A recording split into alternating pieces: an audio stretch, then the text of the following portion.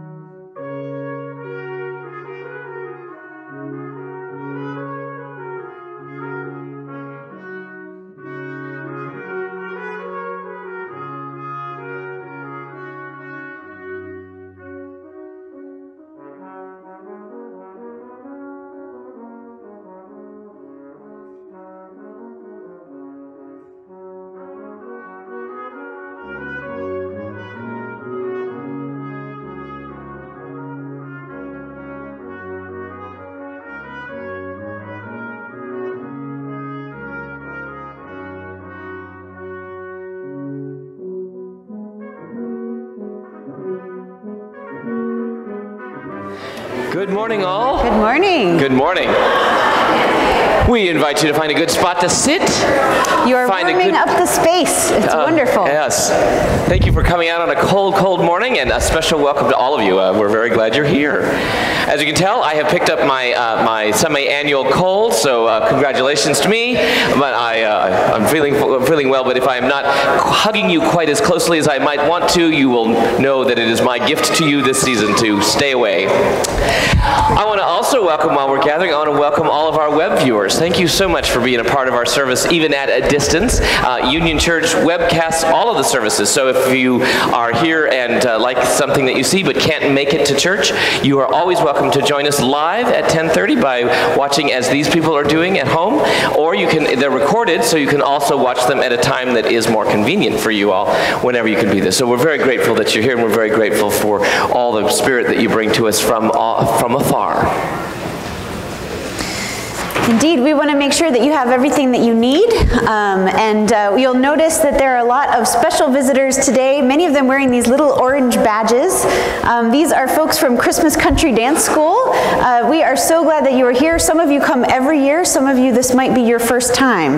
Um, so we want to say a special welcome, and we have special musicians um, that will be playing Indeed. with us today as well. We're really grateful. Uh, we have special musicians all over the place. Uh, from the church itself, we want to welcome Rob Hayden, who is at the mighty Wurlitzer up there and will be leading our preludes and music. And then from Christmas Country Dance School, we have Nathan Wilson and his daughters Adela and Anna, who are going to play for us. Uh, they are wonderful, wonderful musicians and, I, uh, and dear friends, and we're very glad for that. Uh, for those of you who don't know, uh, I actually only knew about Berea because of Christmas Country Dance School, and this will be my 34th Christmas uh, crossing over New Year's uh, in Berea with all of you. So thanks to that.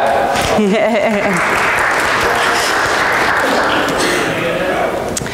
Uh, as we're uh, as we're having some announcements, you'll find somewhere on the edge of your uh, pew a red pew folder, and if you wouldn't mind to sign in and pass that down, it's also wonderful if you wanted to check in on Facebook or or uh, any of your other social media. That's a good time. But also, if you wouldn't mind just to check and make sure that your device is on uh, stun. If it'll uh, turn it to stun mode, silence, that will be helpful for the Except rest. for the sermon. For, yeah, it's just nice.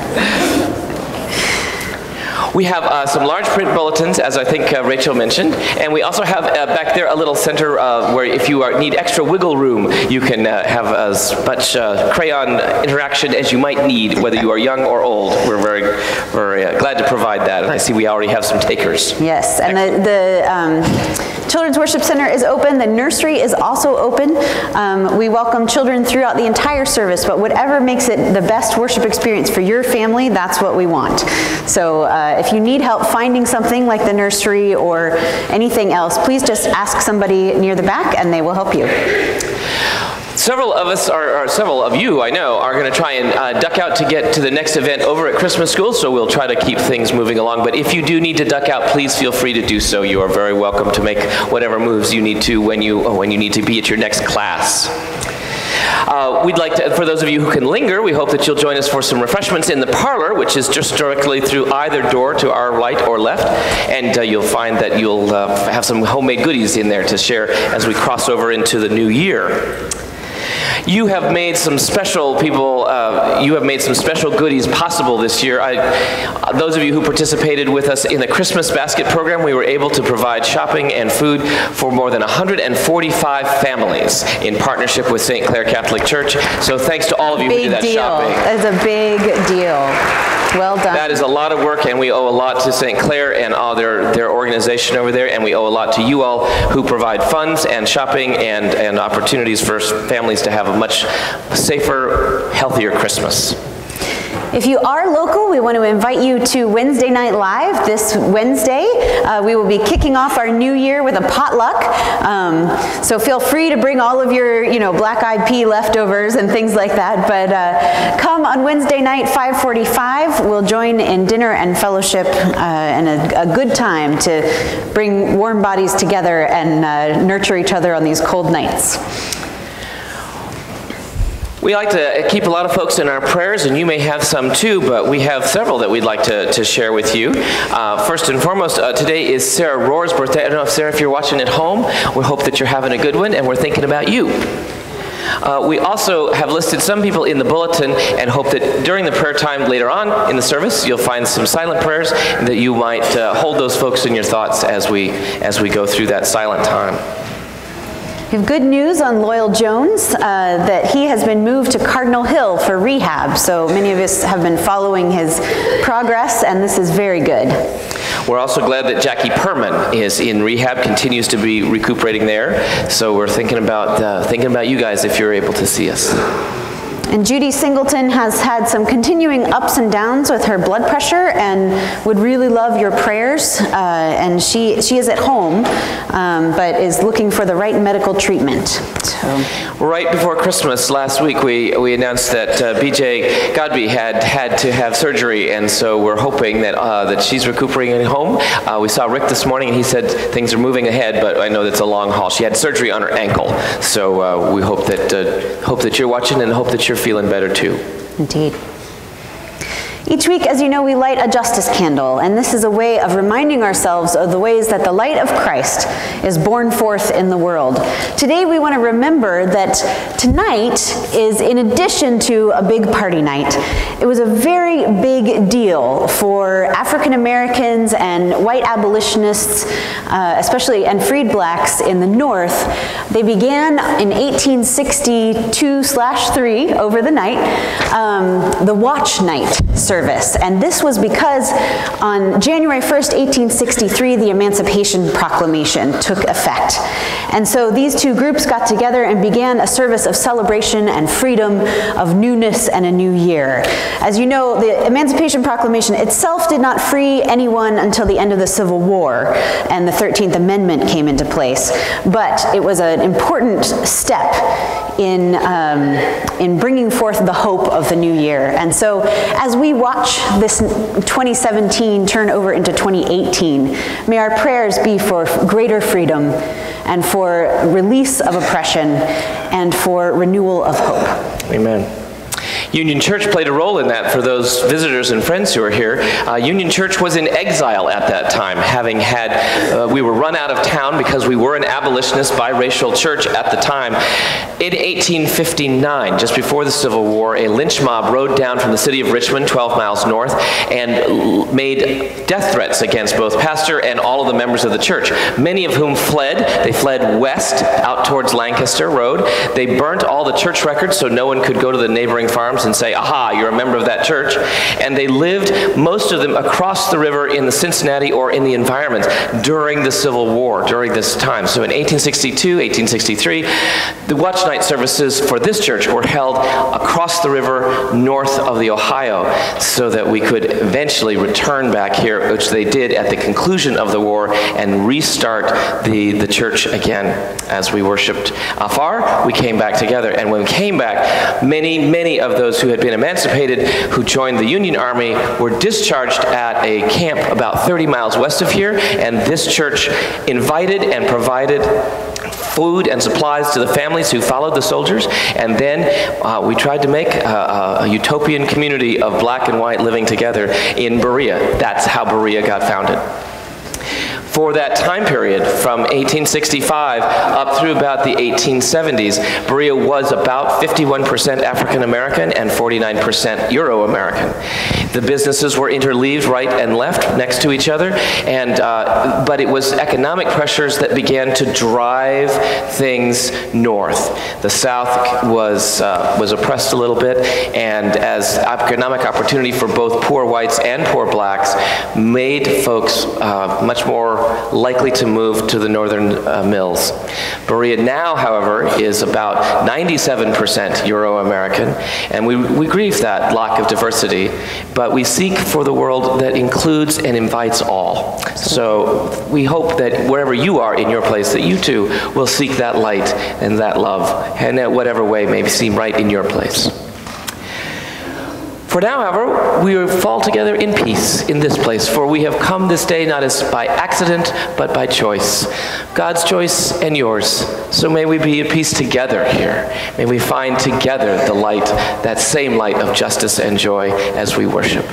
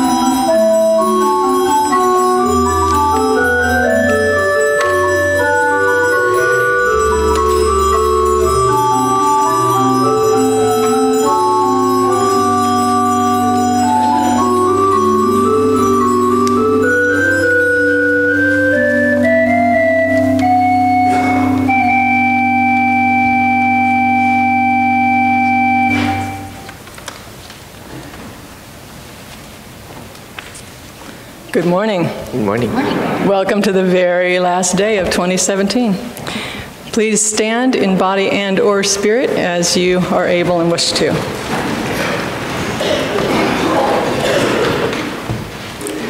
When Jesus is born to Mary and Joseph, God's there. When the shepherds leave their fields to find newborn joy, God sends them.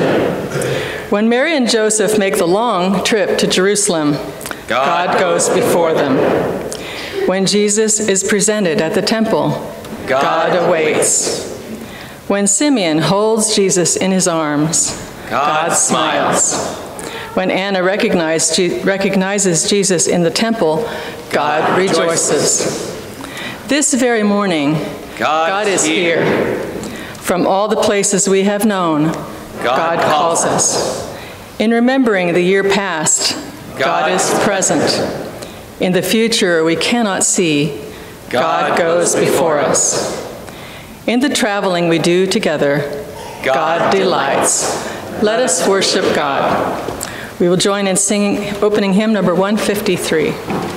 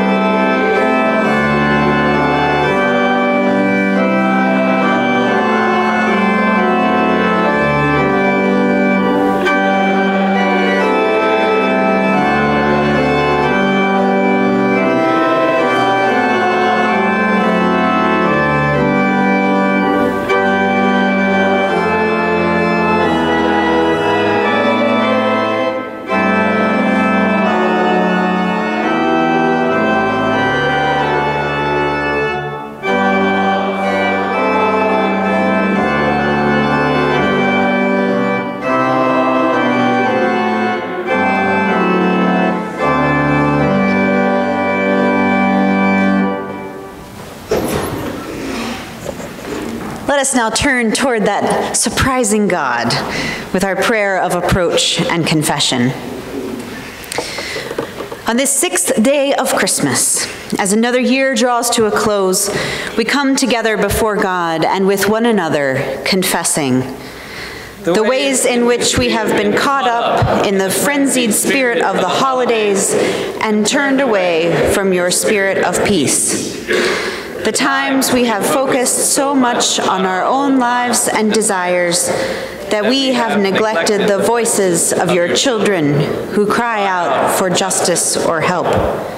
In the times that we have dismissed Christmas as a time only for children, and we have stubbornly closed our hearts to your amazing gift of love. O holy child of Bethlehem, Word become flesh, our Savior and King, hear us as we humbly pray. Cast out our sin and enter in. Be born in us today. Friends, um, amen. Important part. Friends, hear the good news of Christmas. That's what I was so excited to get to. Today reveals, God reveals to us the wonders of divine love. For unto us a child is born, unto us a son is given. His name shall be called Wonderful Counselor, the Mighty God, the Everlasting Father, the Prince of Peace. In the name of Jesus Christ, you are forgiven and able to start anew. In the name of Jesus Christ, you are forgiven and able to start anew. Hallelujah and, and amen. amen. Friends, as renewed and peace filled people, let us pass the peace of Christ with one another.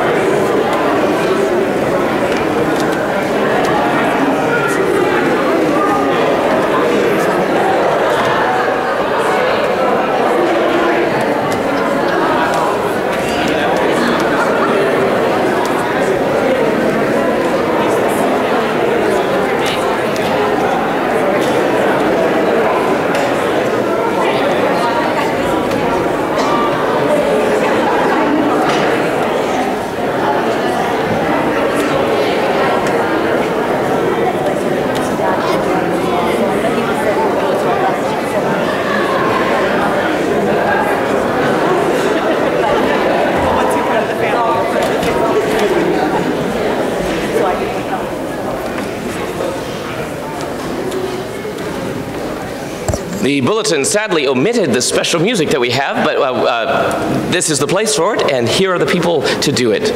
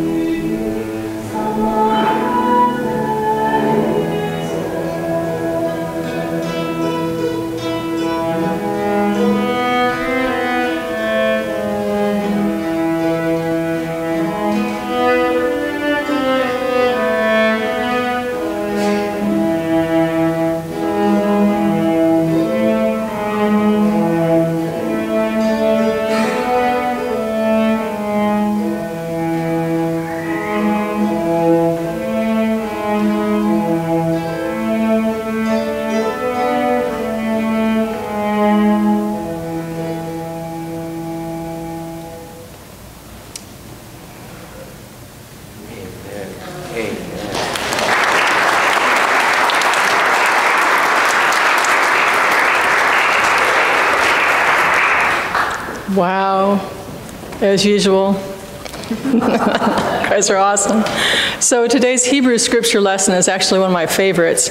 It's from Isaiah 61, verse 10 through Isaiah 62, verse 3. I will greatly rejoice in the Lord. My whole being shall exult in my God, for he has clothed me with the garments of salvation. God has covered me with the robe of righteousness. As a bridegroom decks himself with a garland, and as a bride adorns herself with her jewels. For as the earth brings forth its shoots, and as a garden causes what is sown in it to spring up, so the Lord God will cause righteousness and praise to spring up before all the nations. For Zion's sake I will not keep silent, and for Jerusalem's sake I will not rest, until her vindication shines out like the dawn and her salvation like a burning torch. The nations shall see your vindication, and all the kings your glory. You shall be called by a new name that the mouth of the Lord will give. You shall be a crown of beauty in the hand of the Lord, and a royal diadem in the hand of your God. The word of God for the people of God. Thanks be to God.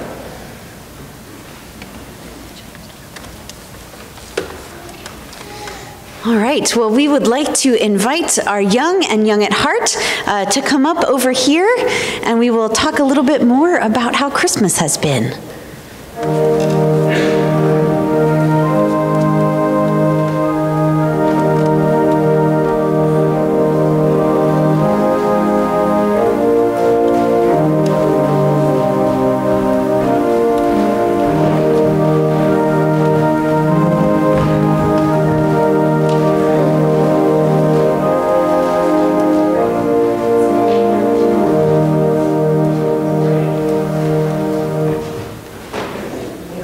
Morning, everybody. How are you? Look good. All right. Very good. Yeah, it was good at my place too. It was wonderful. How was your Christmas, Reverend Rachel? It was very exciting. Was it? Yes. We, we got to see uh, Jack open presents from Santa for the first time that he was able to do that. it's very exciting. Did you know that it's still Christmas?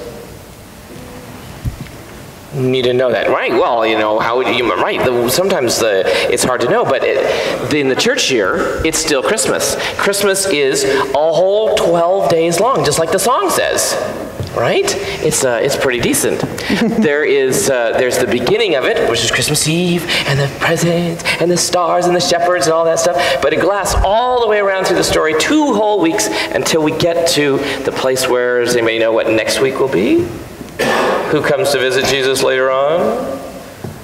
They got crowns Three on. king, we got, we That's got right. the answer. They Ding, got ding, ding. kings. Yeah, exactly right. They come. So we, we call that that's the end of Christmas. That's, and sometimes it's called Old Christmas. So we're right smack in the middle of Christmas. It's this whole long celebration. It's fantastic. And you may have noticed, uh, if you were at a Christmas Eve service, um, you may have noticed that there were, we have five candles now lit, and here's our little uh, paper uh, candles. And we have one in the middle.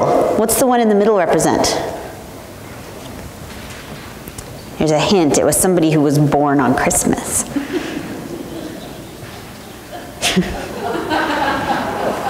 Anybody at all?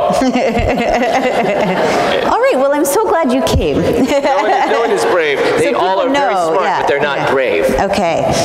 Yes, so the person who was born on Christmas was Jesus. And we celebrate Jesus' birth, Jesus' coming into the world and bringing God's good news of love and joy for all people. And one of the ways that we do that was we light these candles, and then on Christmas Eve, now a lot of you weren't here at our church, so I don't know how you celebrated Christmas Eve, but we take this candle, something about fire, right? I mean, fire, especially in the dark of night, having a candle light up is very special. And when we're sitting here in the dark of Christmas Eve and all these people take their candles and they light them, and they pass that light to somebody else, and that light glows all around, and everybody looks beautiful. And you remember the best part of every person when we do that. And so, what we wanted to do today was give you all, if you weren't here on Christmas Eve, or even if you were and you want another one, um, give you a candle to help remind you that Jesus' light has spread to you, and that you get to spread that light to everyone you meet. Now, we're not going to actually light them right now. When you go home, your parents can decide how you, they want to help you light these. Um, What's that? Appreciate that. Yeah. yes. I'm much better about this now that I have one of my own. Um, um, but the symbol, even if it's in a drawer or something, when you open that drawer and you see it, remember that you have a little bit of Christ in you and you get to spread that light, that love, that joy, that beauty, however you do it best to everyone else. And that is why Christmas is not just one day or even 12 days, but whenever that happens, whenever you can pass light like that, whenever you can receive it from somebody else or give it to another, I would say that that is what Christmas, that Christmas could happen every day of the year. So uh, that's our goal. We're ending one year, and tomorrow it'll be a new 2018, but every day in it could be a day to pass some light to somebody else here's for you. Here's yeah. a little light. All right. Well, uh, let's do that after we pray. Yeah, let's, okay. let's, let's, see if we've got some prayers. Anybody got special prayers to need? What are you thinking about as you're crossing over into 2018? You praying for anything special? New Star Wars movie. New Star ah, Wars movie. Yeah, yes, that's, that's right. Give praise for that. Amen. You got anything you're thinking about? Yeah. Children, yes. Absolutely. Right, the great gratitude for all the people who love us and are around us. Absolutely. Anything else? We're grateful for, for uh, your grandma getting feeling better. Anybody? Okay. Well, I think we should pray. Let's pray. All right, would you join us? God, thank you for the light of Christmas. Thank you for the ways that Jesus' love shines in our hearts and we can take it forward out into the world. We ask especially that you be with us in our moments of joy, whether they are new movies or new toys or all of these things, that we know they are blessings from you. And also, we give you thanks for the blessings of children, each one here and each one that we know and love in our hearts. May you continue to show your joy through them. Be with all the people who need healing and continued well being that they may know your comfort and your presence. And together we say, Amen. Amen. Thanks, you guys. Thanks for coming so up. if you want a candle, you can take yeah, a candle. Come get your candle if you want.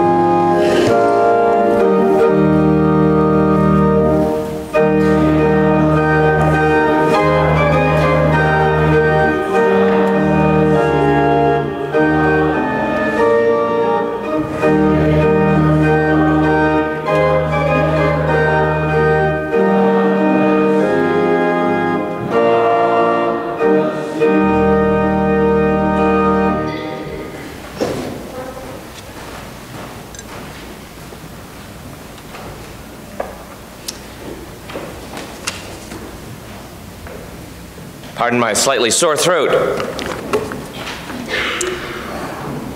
Our gospel reading this morning is from the Gospel of Luke and continues the story that Luke tells about the early days of Jesus. I'd like to take a liberty and read a little bit longer than the passage that you see listed in the bulletin. I'll be reading to verses 55 rather than stopping at 40. When the time came for their purification according to the law of Moses, Jesus' parents brought him up to Jerusalem to present him to the Lord as is written in the house of the Lord, in the law of the Lord, every firstborn male shall be designated as holy. And they offered a sacrifice according to what is stated in the law, a pair of turtle doves or two young pigeons. Now, there was a man in Jerusalem whose name was Simeon. This man was righteous and devout, looking forward to the consolation of Israel and the Holy Spirit rested on him. It had been revealed to him by the Holy Spirit that he would not see death until he had seen the Lord's Messiah. Guided by the Spirit, Simeon came into the temple, and when the parents brought the child Jesus to do for him what was customary under the law, Simeon took him in his arms, praised God, saying, Master, now you are dismissing your servant in peace, according to your word. For my eyes have seen your salvation, which you've prepared in the presence of all peoples, a light for revelation to the Gentiles, and for glory to your people Israel. And the child's father and mother were amazed at what was being said about him. Then Simeon blessed them and said to his mother Mary, This child is destined for the falling and the rising of many in Israel and to be a sign that will be opposed, so that the inner thoughts of many will be revealed, and a sword will pierce your own soul too. There was also a prophet, Anna, the daughter of Phanuel of the tribe of Asher. She was of great age, having lived with her husband for seven years after her marriage, then as a widow to the age of 84. She never left the temple, but she worshiped there with fasting and prayer day and night. At the moment she came and began to praise God and speak about the child to all who were looking for the redemption of Israel. And when they had finished everything required by the law, they returned to Galilee, to their own town of Nazareth. Now the child grew and became strong, filled with wisdom, and the favor of God was upon him.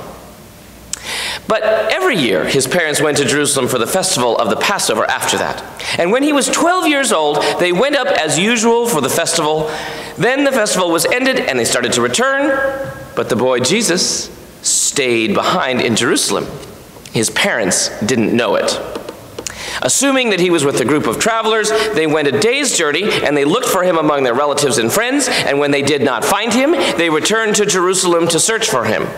After three days, they found him in the temple, sitting among the teachers, listening to them and asking them questions.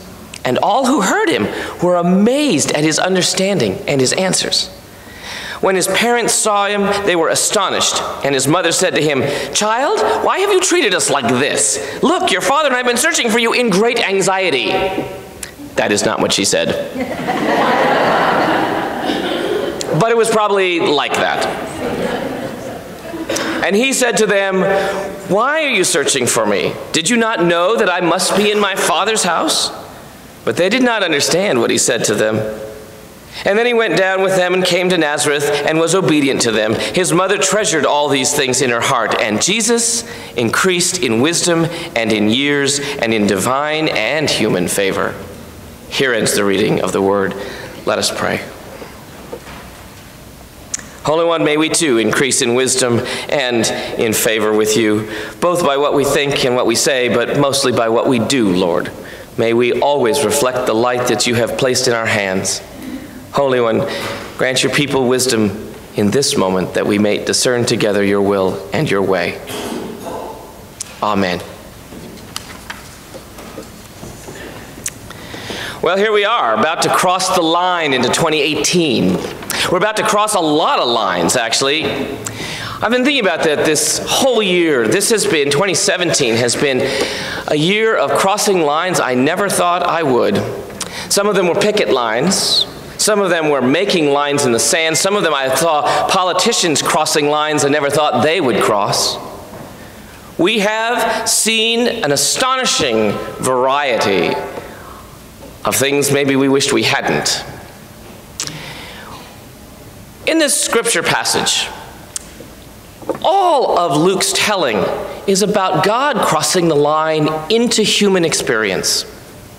And in this particular ones, you have those who kind of butt in to the life of this young family to cross the line and speak their prophecy.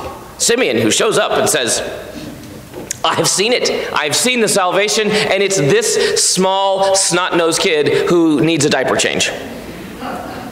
And Anna shows up, and Anna, who has lived to great age, praying, dedicating, doing all the things that you and I know we're supposed to but never have the time to. There she is doing it all, and she steps up and she says, Hey, have you seen this kid? Have you seen that kid? Have you seen the kid? You should go see the kid. That's the kid. That's the one.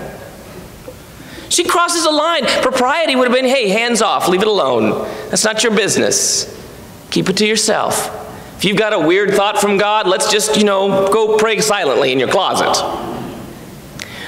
But prophets are rarely able to do that. It's what makes them a prophet. They refuse to stay quiet and they're unable to stay on their side of the line. They step across it in terms of social propriety. They step across it in terms of their own, their own best interest in terms of speaking truth to power. Rarely a safe enterprise. Rarely, rarely something that gets you noticed by the right people except for the wrong reasons. And is that really any different now? Prophets young and old, have said what our world is coming to, and in some cases, they have crossed the line. When is it that we should step over the lines of those proprieties? This is what I've been meditating on. It is not true that you should always color within the lines. This was a lie they told you early and young. It is not true that you should never cross lines. In fact, if you are looking at this from a Hebrew or a Christian context, it is required that you cross the lines at certain points. Think about it. Think about it with me. Should Moses have simply been the dutiful son in law and never crossed the line back into Egypt? Should Miriam have kept silent when all of the people were saved, having crossed over the Red Sea. All of those people who stepped up and stood out didn't do that because they followed the rules. They found reasons to do what was right, even when the rules said, ah, ah, ah, ah, ah, no, no, no, stay on your side of the line. My, uh, my kitchen at home is sort of in a triangle, and there's these two little outlets, and I have, a, have a, an island that faces out. And when cooking for a lot of people, I know right where things are behind me, right? And I am often yelling at visitors and guests, and even my own mother, stay behind the yellow line. I'm in my space, you're in my space. But the story of Christmas is really of God stepping into our space. And every once in a while, God willing, God willing, you too will step rightly into somebody else's space. That latter half, that latter half of Luke's telling of, of, of Jesus' childhood, which we have no corroboration for. We have no idea if Luke was the only person who knew this or if he just thought this would be an excellent addition to an otherwise fantastic story. But the meditation it causes in us is as holy as if it were truth. Jesus goes back to the temple and finds his, himself.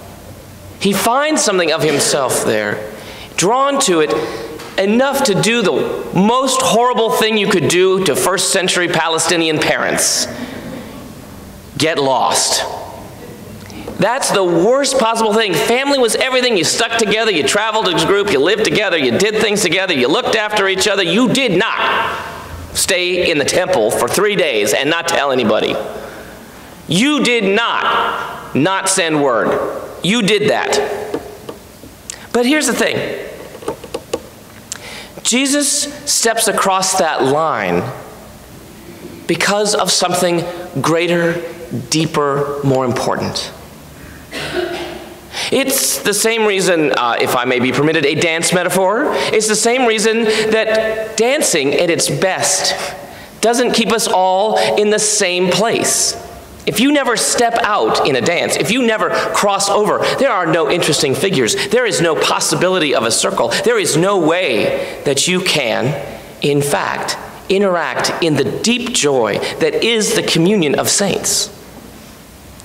You have to cross that line to, to some newer configuration.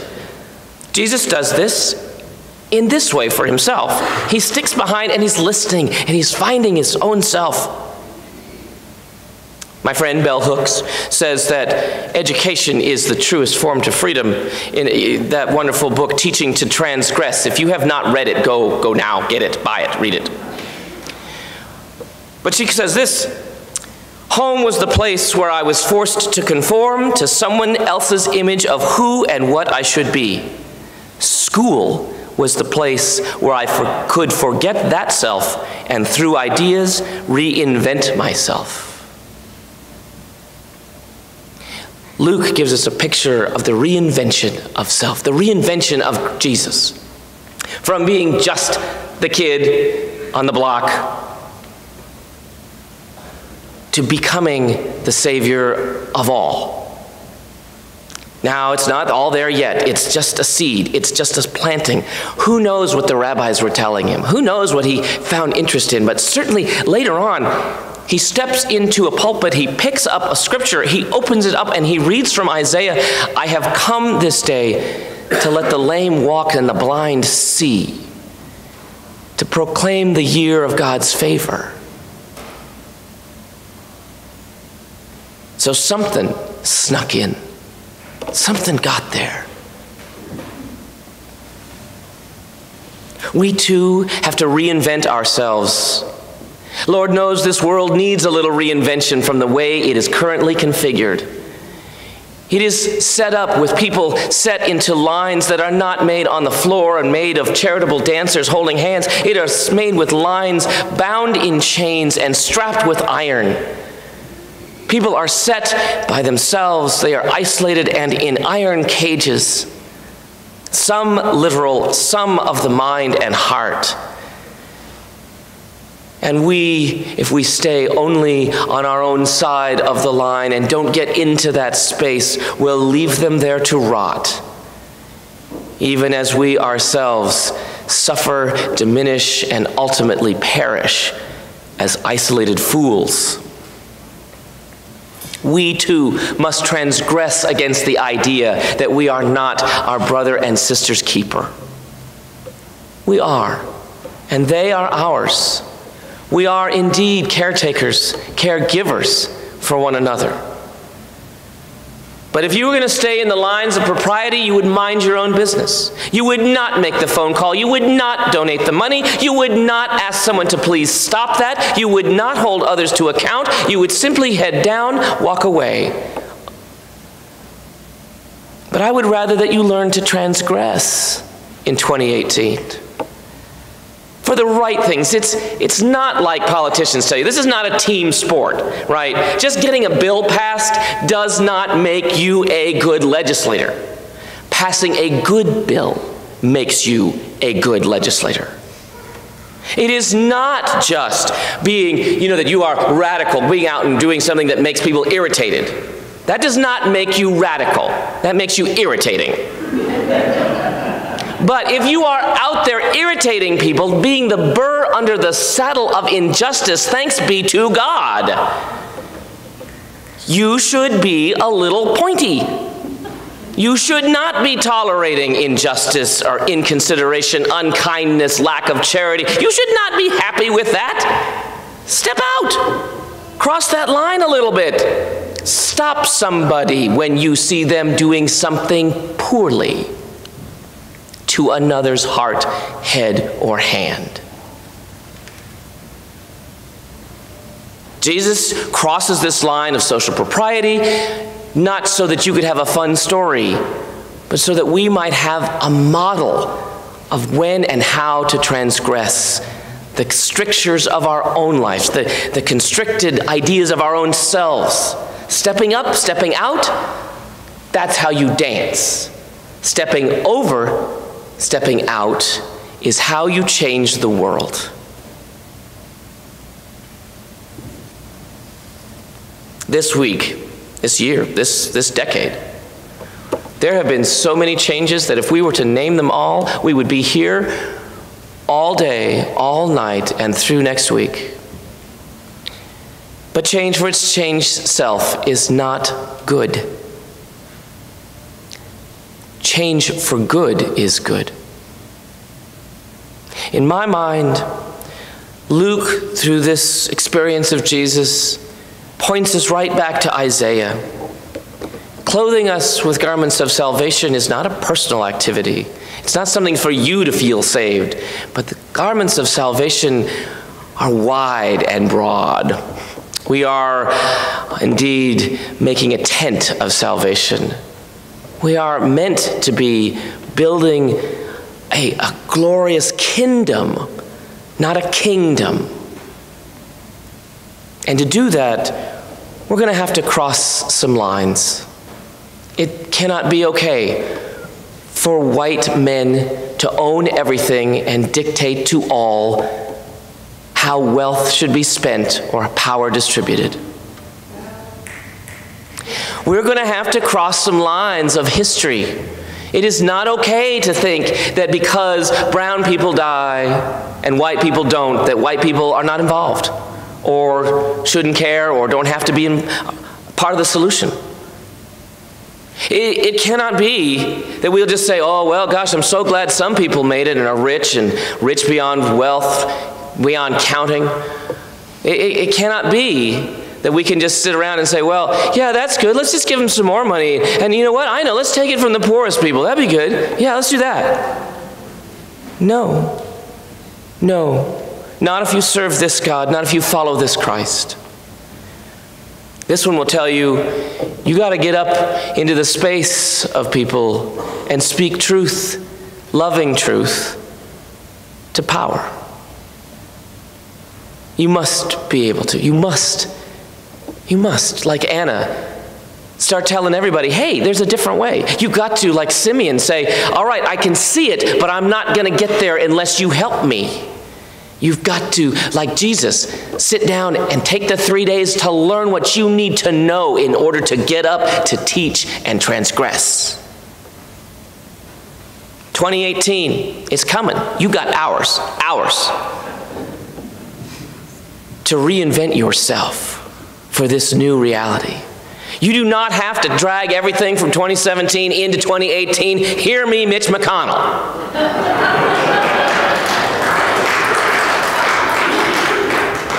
Hear me, O church. Hear me. Hold fast to what is good and strong and best. Carry that with you like a treasure. But step boldly into 2018 looking for the new, finding the best, seeking the lost, and offering yourself to this light we so dearly, deeply need. It's time to cross the line. Amen.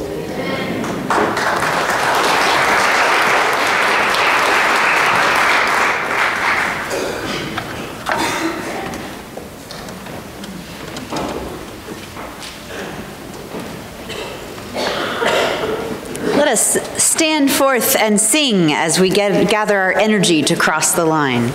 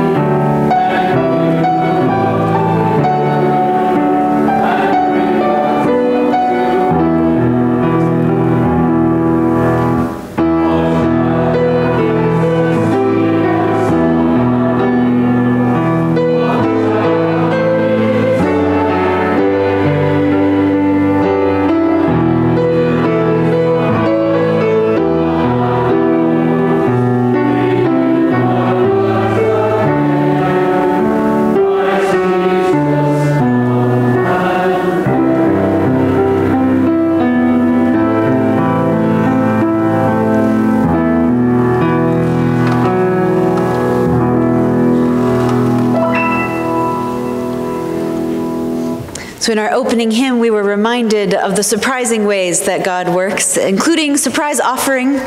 So, uh, we, we uh, have had our call to offering after the offering has been taken. Um, but if you should be inspired to give again as they come forward, we, we, will not stop you, just so you know. Uh, but we do give of ourselves in every way, not just financially, but we give of ourselves by sharing that light of Christ forward. And so as we listen to our beautiful special offering music, we can meditate on that and on the, the light that we get to carry forward.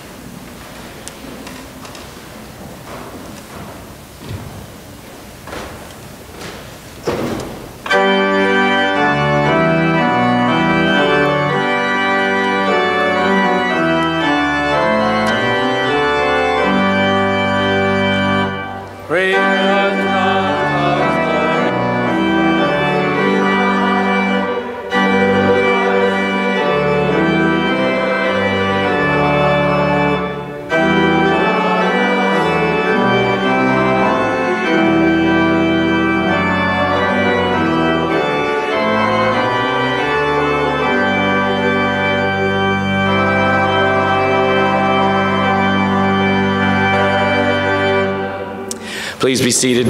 Before we leave this place, we'll take just a few minutes and we'll pray together to find in that silence of falling together in silence a, communal grace, a hopeful strength. So, knowing that we're always in God's presence and wherever you go and wherever you came from and wherever you're headed to after this, feeling that power and that presence, let us fall silent now so that we may gather in all that we need to take with us into the new year and leave behind all that we need no longer carry. Let us pray.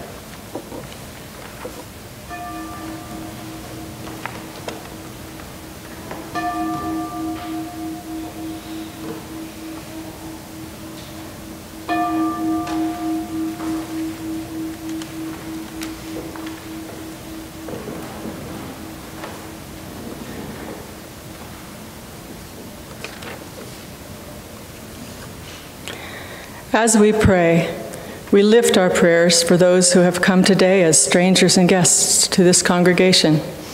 We pray that God's people may sustain them, that God's words may inspire us together, and that the love of Jesus be shown to all.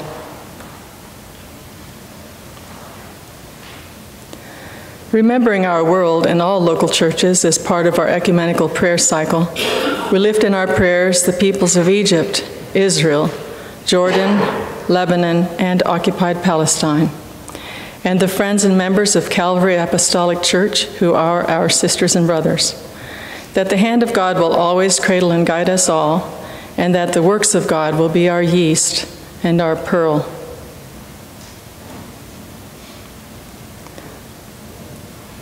Lord, we carry in our hearts the joy and concern of so many in our midst, some we have named, others whom only you know. Hold and heal us all, named and known to you, in body, mind, and spirit, that we may be made one in communion with you.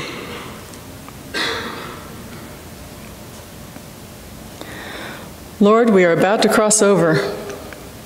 Every moment we are poised on the brink of the next second, the next week, the next decade, our next era. Flowing through time, may we hold fast to all that is wise and good.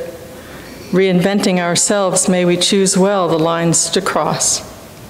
Stepping into each new moment, grant us integrity that we may bind together all parts of our hope.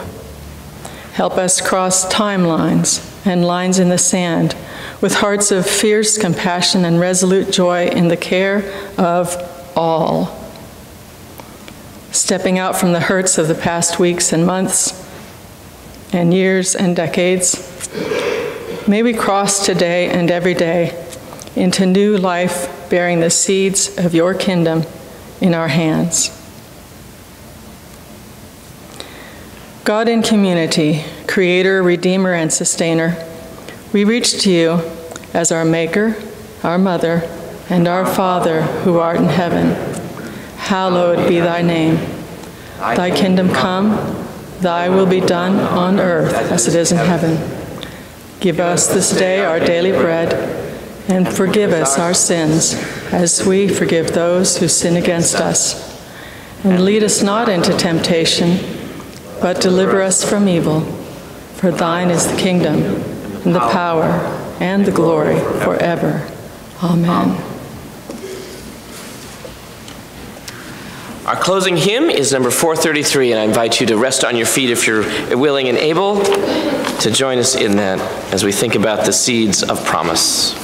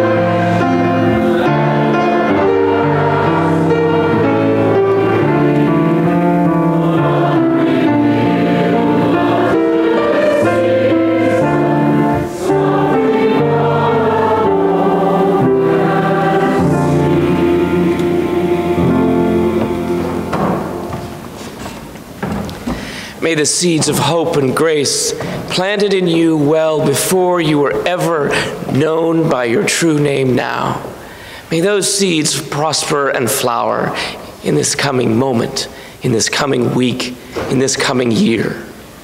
May God give you strength to cross the line from underground to great, glorious, above sky. And may you and all yours be embraced with holy love in Christ's name, now and always. Amen.